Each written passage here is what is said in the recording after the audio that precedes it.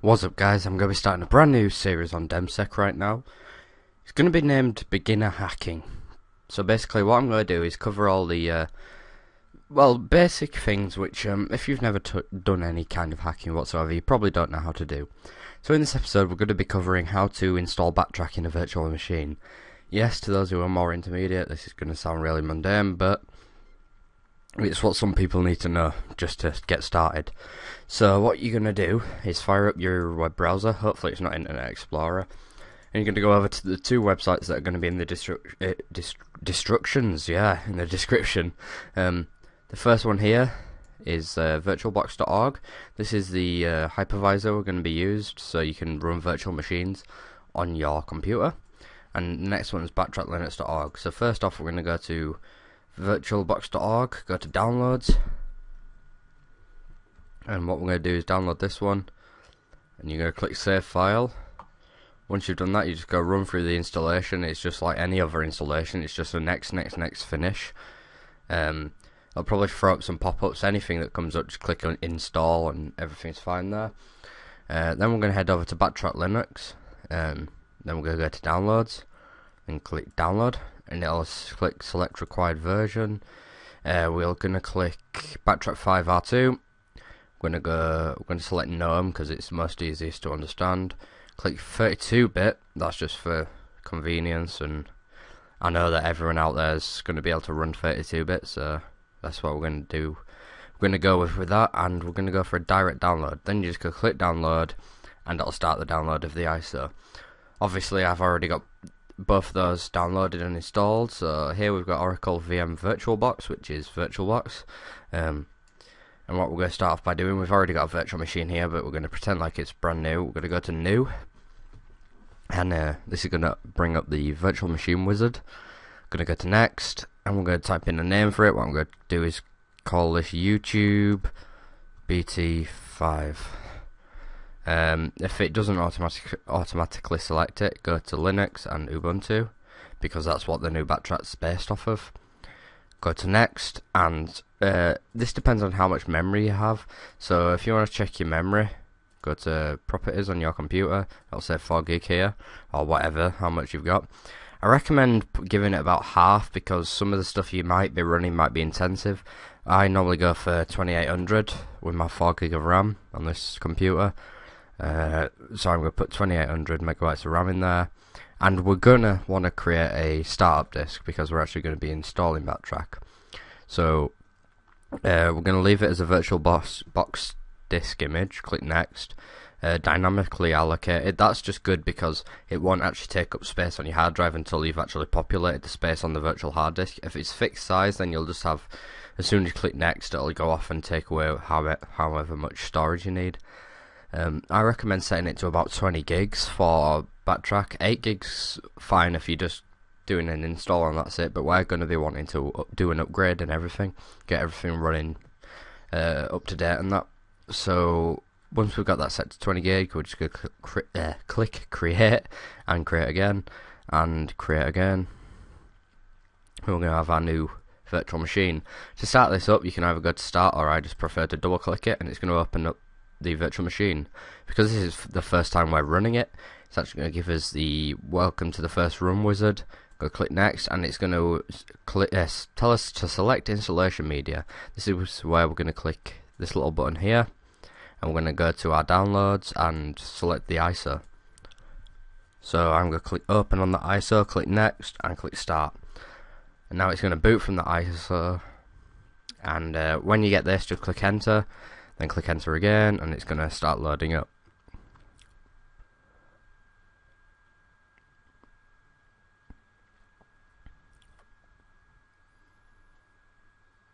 The installation for Backtrack doesn't take all that long, but I'm not going to be actually recording the full installation. I'm just going to walk you through the points of how to install it and then um, we'll just swap, uh, swap over to the one I've already got set up having trouble talking.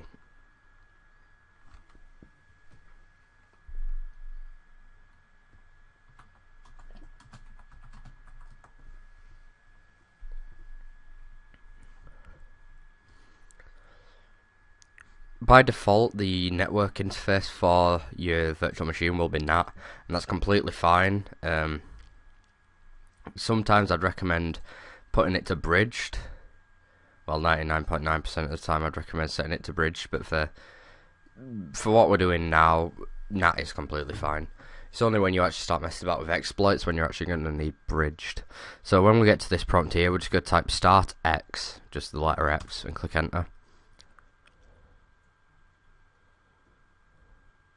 Now this is going to load up the uh, user interface for Backtrack, which pretty much everyone's familiar with by now. So as you can see, this is the interface for Backtrack, and they made it very easy in uh, these versions of Backtrack. I remember in early Backtrack 4, where there wasn't actually an installer that actually worked, so what you'd have to do is uh, manually copy all the files over. So we're just going to double click on the install Backtrack icon, and it's going to open the installer for us.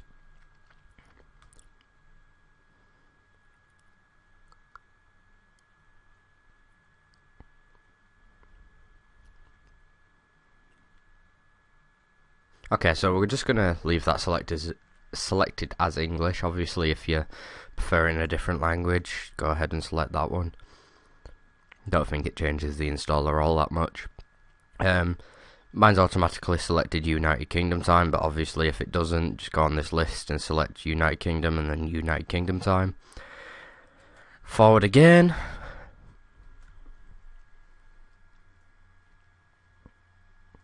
and uh, this is where you select your type of keyboard. What I recommend doing is once you've got it selected, uh, just try the um, at and uh, speech marks, just because those are the ones that normally get flipped around if you do it wrong. Um, obviously, you can see I've done that right. So we're going to click forward again.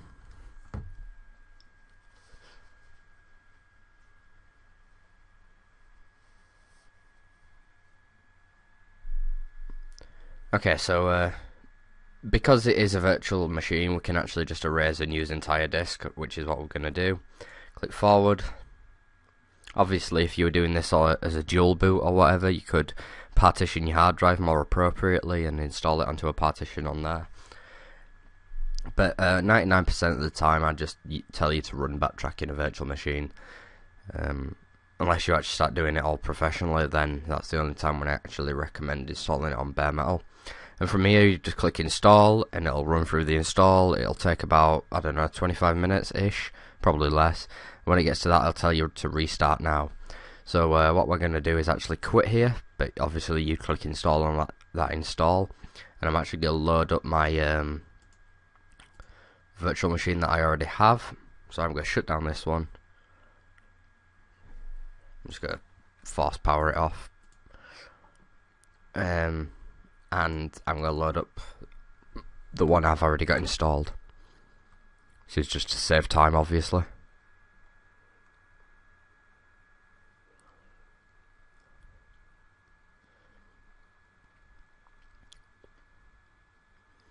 I probably won't cut this video much just because I want you to see the full process and if I'm constantly cutting about everywhere you may be confused.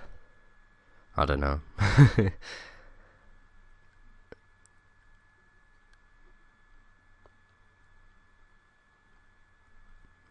Okay, so it'll show the backtrack splash splash screen for a bit, and then it'll give us our login. The default login for uh, backtrack is root as the username, and the password is root backwards, so T double R double O R even, and then it'll let us log in.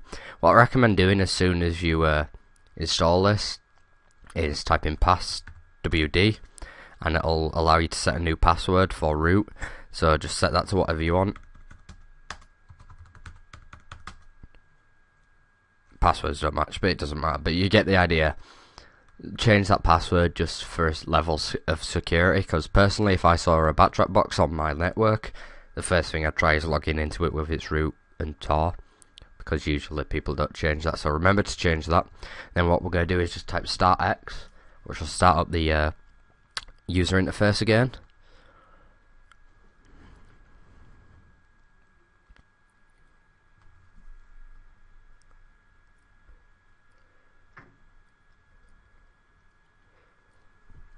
So once we've got Backtrack installed, what we're going to do is update it and make sure it is up to date. So what we're going to do is open this terminal here, to click this button, and uh, the first command we're going to run is apt just get update.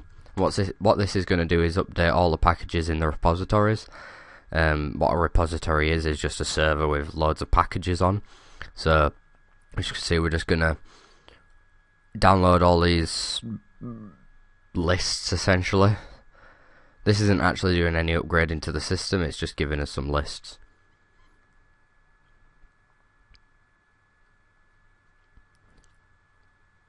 Okay, so now we've got the updated repositories, what we're going to do is do an apt get upgrade and this command is actually going to upgrade the operating system so if there is any new parts as you can see we've got 60 meg worth of updates we're just going to hit Y there and this is going to go off and download these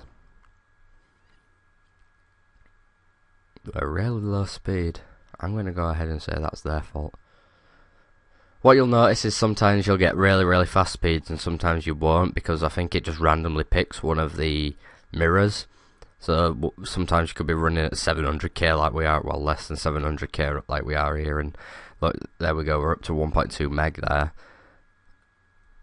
So it just all depends on whichever repo it decides to choose.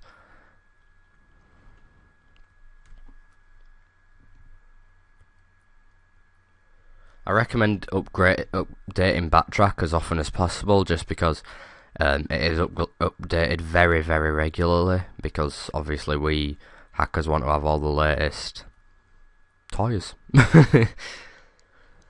okay, so once that's done, we're going to do uh, an update for Metasploit framework, and the command for that's really easy. Um, if nothing else, remember to run that command.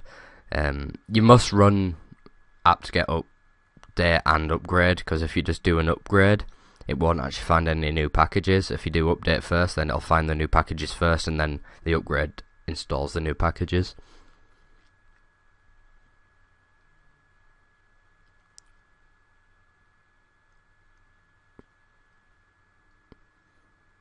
This can take a while to complete, especially first time, um, because it's going to have a hell of a lot of packages.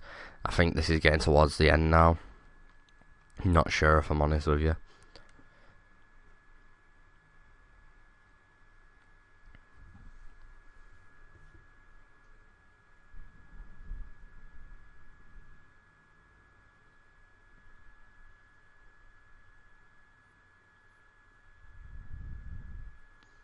As you can tell I haven't updated this for a couple of days and it shows because there's a hell of a lot of updates to be done. I don't want to make this video too long because I don't actually have unlimited time on this channel and I've already gone over the time limit so I'm probably going to have to split this into two parts.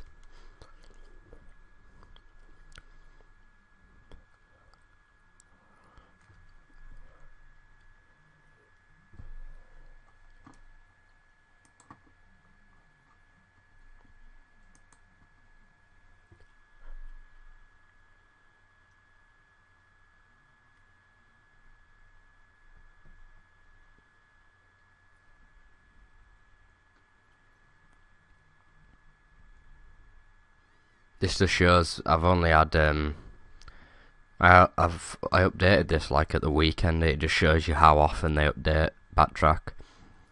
Um, if I remember right, rightly, this is getting towards the end here.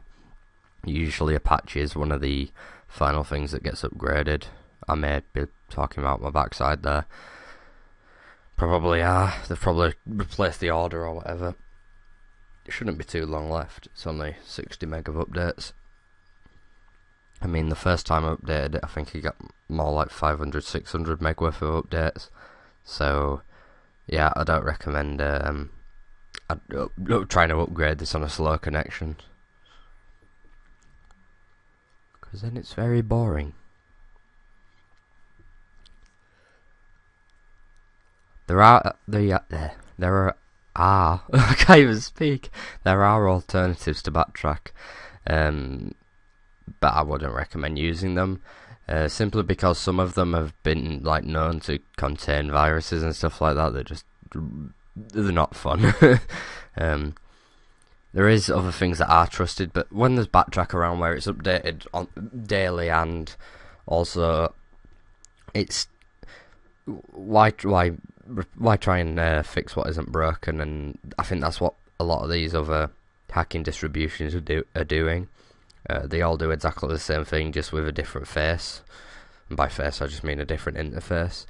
And uh, I think Backtrack is because it's now using Ubuntu, and Ubuntu was designed to look well, look and feel a bit like Windows. Um, no, I don't want to change to Vista Basic. Yeah. But um, Ubuntu was designed to look and feel like, uh, well, look a bit, but feel a lot like Windows. So, obviously, for beginner hackers, you want to stay as much in your comfort zone as possible. Okay, that's done. Took longer than expected, but whatever. Uh, the second command we're going to run is msf update. MSF stands for Metasploit Framework, and then update is obviously just update. we're going to run that, and this is going to download the latest exploits from the uh, Metasploit SVN. SVN is the same as a repository essentially. SVN is just a protocol, I think. Yeah, I'm pretty sure it is just a protocol for accessing it. So what this is just going to go and do is uh, down, uh, check the SVN and see if what's on my laptop is the same as what's on the server, and if it's not, it'll download the latest version from the server.